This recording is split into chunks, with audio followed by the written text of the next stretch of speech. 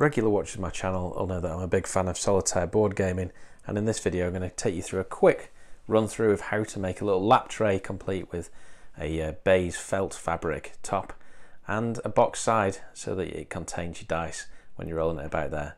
Great for uh, one player board games, card games and uh, anything else you want to do on your lap apart from maybe eat your dinner. It all centers around the Gunnarbo, Gunnarbo IKEA box frame. These are about eight US dollars or about I think they're a bit more expensive in the UK, about ten pounds. You also need some 3M spray mount and some baize felt fabric. So once you've done that, just use some 3M spray mount and um, stick it to the backboard. Obviously, there's normally a little mat sort of uh, insert. You'll take that out, discard it, do the same with the Perspex cover. Then just trim it to fit. And then what you're going to do then is um, stick that around the edge and the 3M spray mount worked just fine for me although I believe there are some better contact adhesives available. Now I used baize felt just because I had this lying around from another game but there's all kinds of different felts and fabrics available. One interesting one particularly for card players called speed cloth and that's the stuff that they use in the casinos but irritatingly quite a lot of it online has the suited um, pattern stitched into it, which I didn't want. Um, I'm going to be doing basically a bigger version of this on um, a full-size table, and I think I'm going to use a black fabric, which uh, is going to look much better. One thing I'm also going to do on that is use headliner foam. So that's a two millimeter um, expanded foam, which is covered in some kind of fabric, and you put that underneath the base and it gives it a little bit of cushion. It gives it that casino table feel. Um, I didn't have any for this project, so it was just a quick knock together. So um, this is just plain, and as a result, when you roll a dice, it does sound like you're rolling it onto a standard table. It does feel a little bit nicer, and it also looks nicer too.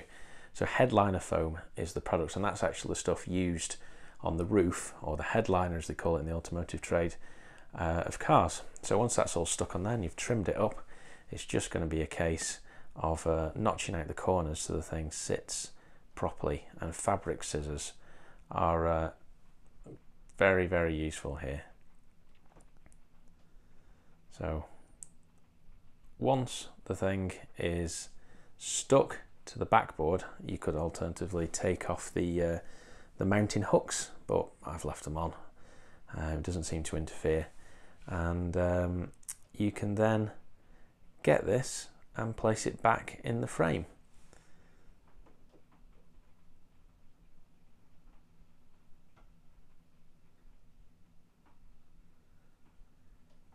So with it in the frame, you will bend down the little sheet metal pegs and um, that'll hold the whole thing in place.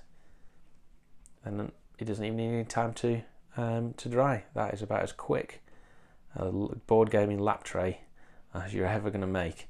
And uh, if you hadn't noticed, um, the game that I'm playing in this is the uh, excellent ultra tiny Epic Kingdoms, which has got so many options for a solitaire play. Loads and loads of different combinations of factions. It's great fun, and I've got a few videos on my channel which I'll link to in the description. So um, if you like this project, do subscribe to the channel. I'm going to be doing a bigger version of this on a full size table and uh, particularly if you like solitaire gaming and this game then uh, do subscribe like and uh, also drop us a comment to let us know what solitaire games you'd recommend for me to check out. Thanks for watching